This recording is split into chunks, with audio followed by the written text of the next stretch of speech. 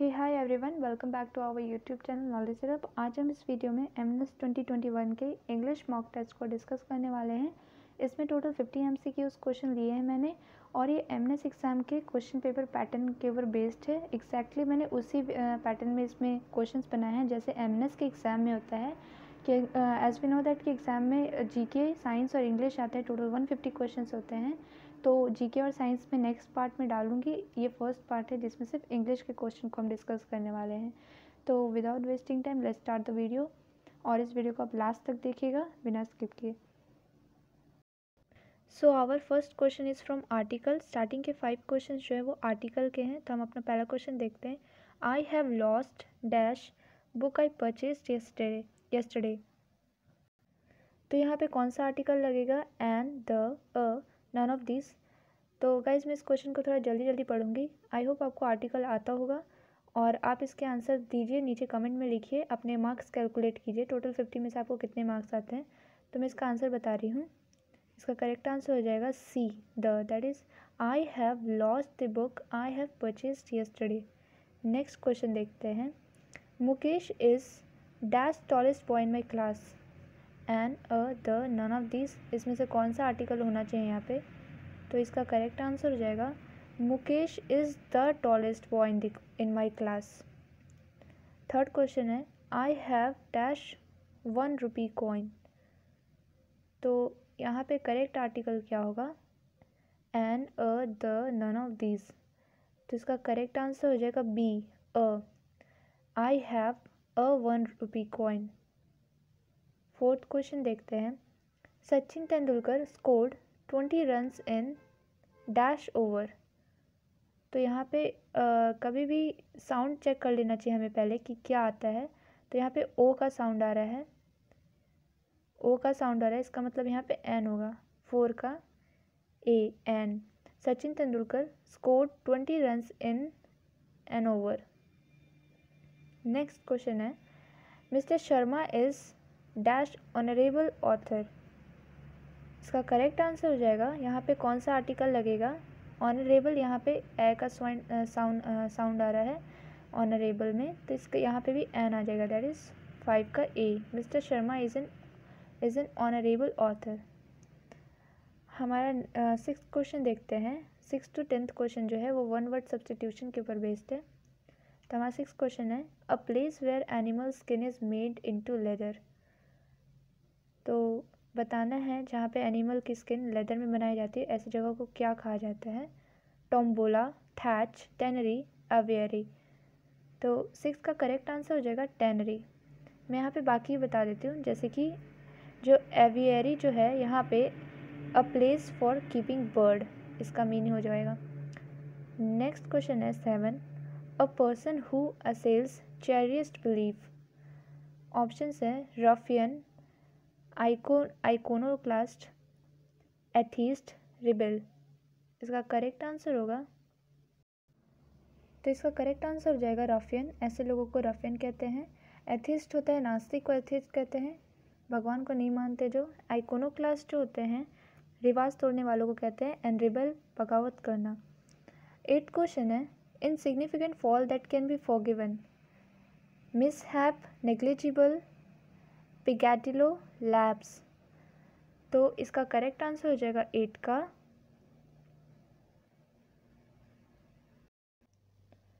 सी mishap का मतलब होता है दुर्घटना. लैप्स का मीन होता है. हम ऐसी जगह पे यूज़ करते हैं जब किसी चीज़ को रद्द करना होता है तो बोलते हैं लैप्स नेक्स्ट क्वेश्चन है. One who hates marriage options are altruist misogamist egoist extrovert correct answer हो जाएगा misogamist. Misogamist means one who hates marriages altruist का मतलब होता है one who is habitually kind to other दयावान होता है जो दूसरों के लिए। इकोइस्ट मीन्स घमंडी एज वी नो एक्सट्रोवर्ट होता है one who turn his mind outward next question है one who studies meaning of words ऐसे लोगों को क्या कहते हैं? सिमेंटिसिस्ट बोटनिस्ट एमनेस्टी सोमना बुलिस्ट। इसका करेक्ट आंसर हो जाएगा टेन का। A botanist who study the plant plant की स्टडी करने वाले। एमनेस्टी एमनेस्टी का मतलब होता है a general pardon granted to criminal and somnambulist का मतलब होता है person who walking in sleep ये इंपॉर्टेंट है, आ चुका है पहले भी एग्ज़ाम में एम के नेक्स्ट क्वेश्चन है अब one eleven to fifteen question हमारे सिनोनियम से हैं। तो पहला एलेवेंथ क्वेश्चन है हमारा। वेंडलिज्म वेंडलिज्म का सिनोनियम क्या हो जाएगा? Preservation sabotage deliberation implementation the correct answer will be sabotage vandalism का मतलब होता है गुंडागर्दी करना या तोड़फोड़ करना। तो इसके सिनोनियम में सेबोटेज हो जाएगा, जबकि एंटीनियम जो हो जाएगा प्रिजर्वेशन इसका एंटीनियम हो जाएगा। नेक्स्ट क्वेश्चन है यूफोरिया यूफोरिया का सिनोनिम क्या होगा? Sadness lock jubilation misery correct answer will be C jubilation euphoria मतलब होता है खुशी हैप्पीनेस तो सैडनेस इसका एंटनीम हो जाएगा।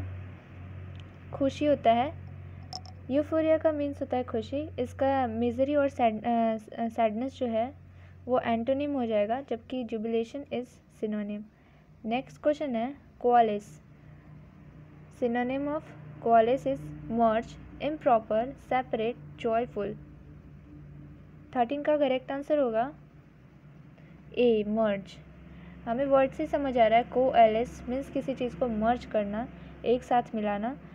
सिनोनिम इसका तो हमने मर्ज देख लिया, जबकि इसका एंटोनिम सेपरेट हो जाएगा. नेक्स्ट क्वेश्चन है Nuwan nuances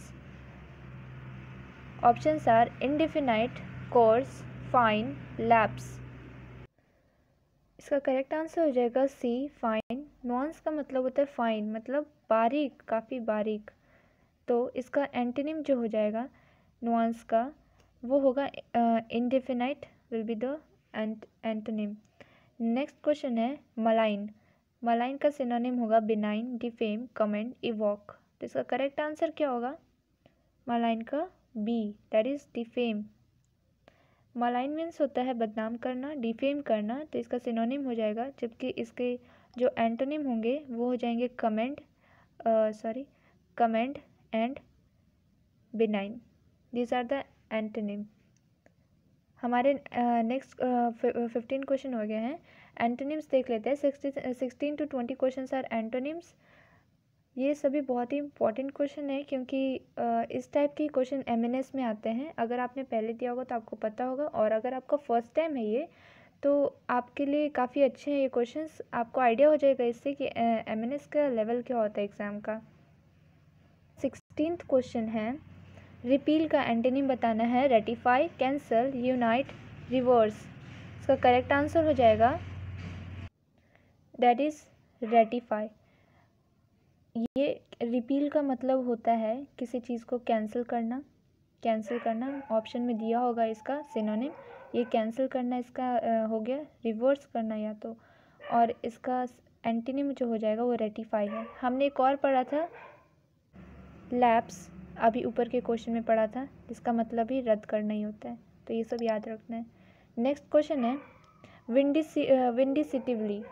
Vindictively sorry vindictively इसका एंटोनिम हो जाएगा विंचफुली डिस्परेटली काइंडली रफली करेक्ट आंसर होगा इसका? सी दैट इज़ काइंडली इसके सिनोनिम्स हो जाएँगे। ये इसका सिनोनिम है और काइंडली फ्रेंडली ये इसका एंटोनिम है।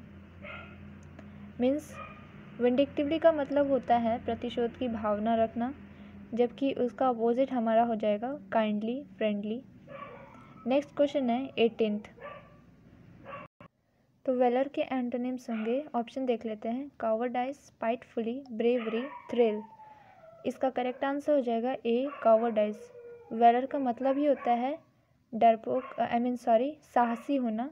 निर्भयता, साहसी होना। तो इसका अपोजिट कहवर्डाइज हो जाएगा मीन्स डरपोक। डरपोक हो जाएगा इसका। अगर बाकी ऑप्शंस को हम देखें तो ब्रेवरी ये भी इसका सिनोनिम हो जाएगा। और गैलेंट्री भी होता है वेलर का सिनोनिम जबकि thrill and cowardice timidity and cowardice these are the antonyms of valour next question है ब्रोबीट ब्रोबीट का एंटेनिम हो जाएगा। इसके ऑप्शंस देखते हैं पहले। बुली, परसुएट वेव काम। इसका करेक्ट आंसर हो जाएगा बी, परसुएट। ब्रॉबिट का मतलब होता है धमकाना, जबकि इसके सिनोनिम्स हो जाएँगे बुली, धमकाने में आता है। और इसका अपोजिट वर्ड जो हो जाएगा, वो हो जाएगा persuade and boost. Next question है एक्यूट इसका एंटोनिम्स दिए हुए हैं। ऑप्शंस बताना है कौन सा करेक्ट आंसर है। ड्रास्टिक इंसेंसिटिव ऑफुल टेनेबल तो ट्वेंटी का करेक्ट आंसर हो जाएगा।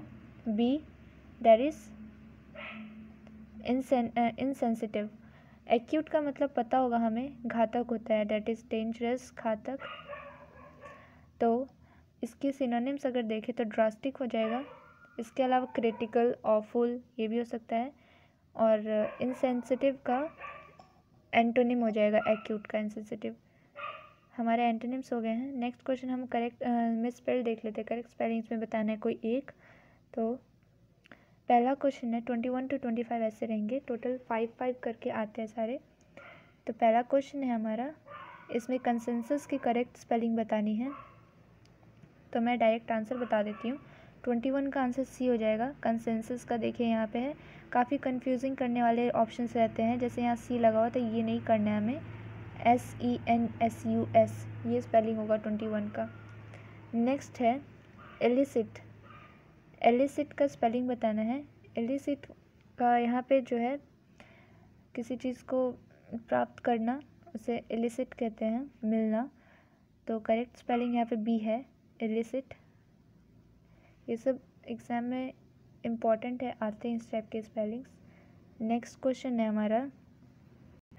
एक्वाइंटेंस का स्पेलिंग बताना है इसमें. तो हम दो पार्ट में से पहले बांट लेंगे.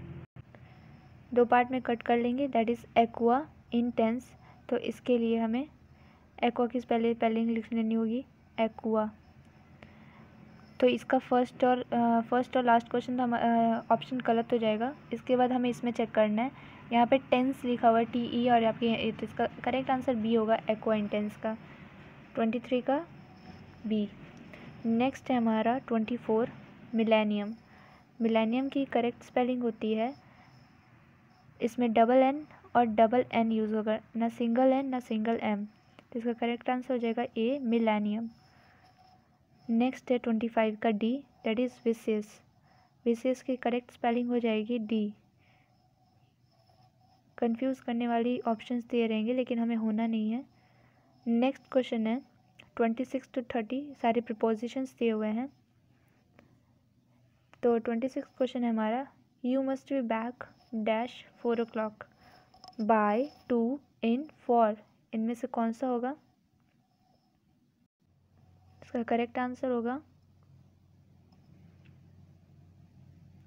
B for centuries next question है I had rather be single dash in a bad relationship तो ट्वेंटी नाइन का आंसर हो जाएगा C I had rather be single then in a bad relationship thirtieth question है he dispose of is bicycle practically dash a song इसका correct answer हो जाएगा B he dispose of is bicycle practically for a song हमारा next question है idiom and phrases के ऊपर.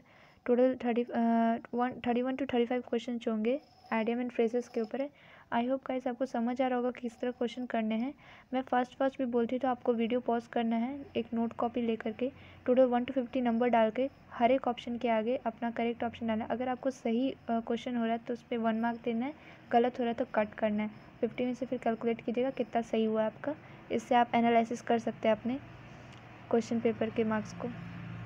Next है हमारा thirty one to keep one's temper तो इसमें बताना है हमें to become hungry to be in a good mood to preserve one's energy to be aloof from तो इसका करेक्ट आंसर हो जाएगा B to keeps one temper का मतलब होता है to be in a good mood next question है on the cards to run away anticipated satisfaction sanction इसका करेक्ट आंसर हो जाएगा एंटिसिपेटेड एंटिसिपेटेड में अनुमान लगाना होता है इसका मतलब। नेक्स्ट क्वेश्चन है by fits and start option है to do irregularly to do consistently to be in a high spirit to fight vigorously इसका करेक्ट आंसर हो जाएगा थर्टी थ्री का A that is to do irregularly fits and start to do irregularly thirty four है at once bite ends at once bits and तो perplexed clear up explain and light and इसका correct answer हो जाएगा perplexed thirty fifth question है I know what my result would be like but I but still I am only anxious on pins and needles on needle and pin on pin and more pin इसका correct answer हो जाएगा on pins and needles इस type के questions M N S में दे रहते हैं dash दे करके एडियम्स एंड फ्रेजेस में. तो ये इंपॉर्टेंट है. एरर डिटेक्शन ये आता ही है हर साल। एरर डिटेक्शन में हमारा पहला क्वेश्चन है। पाँच क्वेश्चन इसके भी है। This is one of the best books that has been published इसमें बताना है कौन सा गलत है ए बी सी या डी कौन सा पार्ट इसमें से गलत है इनमें से? तो इसका करेक्ट आंसर हो जाएगा। तो यहाँ पे सी पार्ट में एरर है। Here has should be replaced by have यहाँ हैव होना चाहिए, क्योंकि जो हैज़ है, वो सिंगुलर के साथ लगता है, जबकि हैव प्लूरल के साथ, और यहाँ पे साफ़ साफ़ दिया हुआ है बुक्स लिखा हुआ है, जो प्लूरल है। नेक्स्ट क्वेश्चन है come and sit down for a while Ashok you are digging since lunch time तो बताना है, कौन से पार्ट में एरर है? ए बी सी या डी तो इसका करेक्ट आंसर हो जाएगा सी सी पार्ट में एरर है। यहाँ पे जो है आर नहीं लगेगा। ये कर रॉन्ग है। यहाँ पे इज़ लगना चाहिए। सॉरी हैव बीन लगना चाहिए। क्योंकि यहाँ पे जो अशोक है, वो सिंगुलर है, जबकि आर जो है वो प्लूरल है। तो यहाँ पे come and sit down for a while Ashok you have been digging since lunch time तो यहाँ पे हो जाएगा have been have been next question है। The scientist was seemed to be excited over the result of his experiment no error इनमें से कौन से ऑप्शन में एरर होगा? तो थर्टी एट का आंसर हो जाएगा ए यहाँ पे सीम्ड से पहले वॉज़ नहीं लगना चाहिए. ये कट होगा यहाँ पे. The scientist seem to be excited over the result of his experiment no error तो इसका आंसर ए हो जाएगा जिसमें एरर है. नेक्स्ट क्वेश्चन है. We have not had such a good crop of mangoes since ten years no error so इसमें बताना है कौन से ऑप्शन में एरर है? तो थर्टी नाइन दिया हुआ है। इसका आंसर जो हो जाएगा सी है क्योंकि यहाँ पे सिंस लगा हुआ है जबकि यहाँ पे फॉर होना चाहिए। एज वी नो दैट कि सिंस uh, जो है वो पॉइंट ऑफ़ सिंस जो है वो पॉइंट ऑफ़ टाइम के लिए यूज़ होता है। जबकि फॉर जो है पीरियड ऑफ़ टाइम के लिए that is ten year five year ऐसे में यूज़ होता है।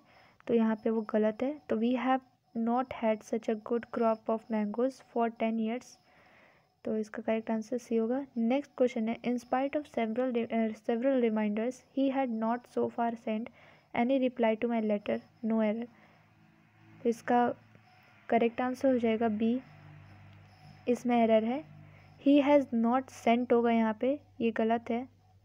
तो ऐसे होगा। In spite of several reminders he has not sent sent any reply to my letter next question है active and passive passive voice के ऊपर बेस्ड है forty one to forty five अगर आपने लास्ट ईयर एमएनएस का exam दिया होगा तो आपको पता होगा एक्टिव एंड पैसिव वॉइस आया है, जबकि ट्वेंटी नाइनटीन और ट्वेंटी एटीन इन सब में नहीं आया था। तो हम क्वेश्चन इसके ऊपर भी कर लेते हैं। फोर्टी वन क्वेश्चन है। The little kitten was frightened by sound of the fire cracker. Passive voice दिया हुआ है, हमें एक्टिव वॉइस बताना है। तो the little the little kitten heard the cracker and was frightened. The fire crackers frightened the little kitten. The sound of the fire crackers frightened the little kitten. Hearing the fire crackers, the little kitten was frightened correct answer हो जाएगा C that is the sound of the fire crackers frightened the little kitten ये active voice हो जाएगा इसका. Next question है. The ball had been thrown by him passive voice दिया हुआ है. हमें एक्टिव बताना है इसमें कौन सा? है तो फोर्टी टू का करेक्ट आंसर हो जाएगा. He had thrown the ball A next question है. Someone wrote this letter in the nineteen century active voice दिया हुआ है. पैसिव वॉइस बताना है. तो इसका करेक्ट आंसर होगा D that is the letter was written by someone in nineteen century next question है my mother is cooking food active voice है पैसिव बताना है हमें. Food is being cooked by my mother food has been cooked by my mother food was being cooked by my mother food is being cooked by my mother तो forty four का correct answer हो जाएगा A food is being cooked by my mother next question है, the storm did much damage? Passive voice हमें इसमें बताना है। Much damage was done by storm the storm damage much. Much damage did the storm the storm was damage correct answer हो जाएगा A. That is much storm was done by.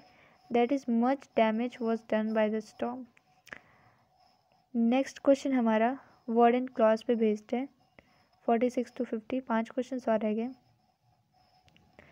Forty six question है I can detect several dash in your reasoning तो इसका correct answer हो जाएगा I can detect several flaws in your reasoning flaws means गलतियाँ, मैं आपकी तुम्हारी reasoning में कई गलतियाँ निकाल सकता हूँ।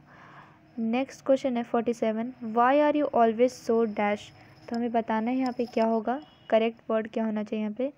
आर्ग्यूमेंटल आर्ग्यूमेंटेटिव आर्गनिंग आर्गुइंग तो इसका करेक्ट आंसर हो जाएगा फोर्टी सेवन का that is B argue argumentative next question है the level of dash in India is low options are literacy literaciness literariness learning learnness तो इसका करेक्ट आंसर हो जाएगा सी फोर्टी एट का correct answer हो जाएगा C the level of learning in India is low सही guess यहाँ पे एक गलत हो गया। करेक्ट आंसर हो जाएगा literacy the level of literacy in India is low forty ninth question है। Madhavan dash agreed to my proposal तो इसका करेक्ट आंसर होना चाहिए। पहले ऑप्शन देखते हैं। रिग्रेटफुली रिग्रेटिंग रेल्यूकेंटली रिवर्सली इसका करेक्ट आंसर हो जाएगा C that is relu reluctantly Madhavan reluctantly agree to my proposal इसका मतलब होता है अनिच्छा से, अपनी मर्ज़ी से नहीं। लास्ट क्वेश्चन है high grades are certainly a boost to student high grades are certainly a boost to a student dash तो इसके ऑप्शंस हैं morally morality moral morale mood correct answer हो जाएगा B that is morale high grades होते हैं। High grades are certainly a boost to a student morale that is उनके मनोबल को बढ़ाते हैं। तो हमारे टोटल फिफ्टी क्वेश्चंस हो चुके हैं। आई होप आपको सारे क्वेश्चंस अच्छे लगे हों। ये टोटल एम एग्ज़ाम के क्वेश्चन पेपर पैटर्न पे बेस्ड था। और इसी टाइप के एम के एग्ज़ाम में एक क्वेश्चंस आते हैं पार्ट वाइज फिफ्ट पाँच पाँच करके। और अगर आपको बाकी और भी वीडियोस देखने हैं like G K N based question तो आप मेरे चैनल पे विज़िट कर सकते हैं। मैंने अपने चैनल पर एन बेस्ड इलेवन ट्वेल्थ की बायो की क्वेश्चन जो हैं लाइन वाइज बहुत ही शॉर्ट वीडियो में काफ़ी इंपॉर्टेंट क्वेश्चन को बता रखा है तो आप ज़रूर उन्हें देखें और अगर आपको ये वीडियो अच्छी लगी तो प्लीज़ सब्सक्राइब शेयर और लाइक करें। Thank you